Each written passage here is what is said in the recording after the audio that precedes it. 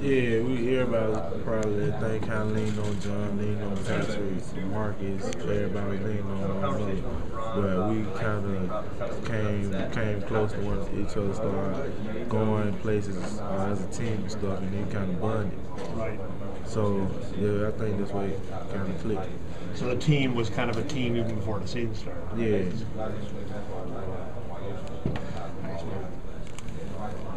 Eric, tell me about uh, West Virginia. It seems like they kind of slow the game down more a little bit, whereas you guys like to get up and down the court. Uh, we just gonna have to play 40 minutes of defense like we did against Cornell. Uh, they kind of like just slow the, uh, the ball down too. So if we just come out and play our game, we should have to worry about that. So, how much did playing against Cornell, you know, last night? How much did that? Do you think it will help you in going up against West Virginia? I think it helped us a lot because don't nobody ain't nobody gonna stop on the defensive end. Uh, it's Cornell. They just like to run their sets and uh, wait till the late shot clock and start trying to shoot the ball. So I think it's gonna carry over a lot in this game. Now everyone's, you know, always looking for, you know, something to nitpick on, and for you guys, they might say, you know, the SEC was down a little bit this year. Playing against West Virginia you know, from the Big East, do you guys see this, you know, possibly as a statement or anything like that? Uh, we don't think it's a statement. We just it's, it's just a basketball game to us. They've been saying bad, uh, negative stuff about us all season, uh, but as you seen, we uh, find out a way to get through it. So we just gonna have to, to find out a way to get through this. And you're one game away from the Final Four. How do you focus on just West Virginia and not look ahead to, you know, finally getting in? Uh, like we've been doing the rest of this old tournament, just focus on taking the uh, team at a time, and that's what we've been doing. So we're just gonna do it like that. Has this felt different, Eric, uh, being the NCAA tournament, or does it feel like kind of the rest of the season? Yeah, it feels different because every game you gotta have the mentality not to lose because uh, it's only one team gonna uh, get a win at the end of the day. So you just gotta come in with mentality just win.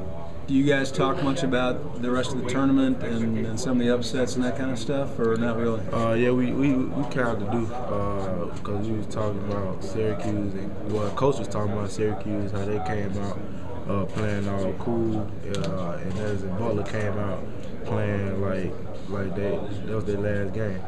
So that's what he, he kind of talked about us and stressed us. Has he been using that as motivation Yeah, throughout he, the tournament? Yeah, he's been using using that as motivation. Don't come out with no cool attitude. Uh, come out and just just play real aggressive. What do you expect from West Virginia? Uh, I expect uh, a great game from them because they're a great team. They wouldn't be here if they wasn't. Uh, so we just we just gotta come out and try to play harder than them. Have you talked at all about uh, things they may be doing differently now that they they lost Bryant? No, we ain't talked about much, but I think we should get that a little bit today uh, after break. Go ahead, break. What does it feel like to be Elite Eight, one step away from the Final Oh, Four? it feel good, uh, especially as a freshman because we ain't never been in this type of uh, environment. And we just trying to bring Kentucky back to where it used to be. People from home talking to you? Oh yeah, a lot of people from home, but coach he take our phones away, so we will have to listen to all that. yeah, no phones. No. like the whole tournament, or how, for how long? yeah, he, he took him, took away uh, pretty much the whole tournament.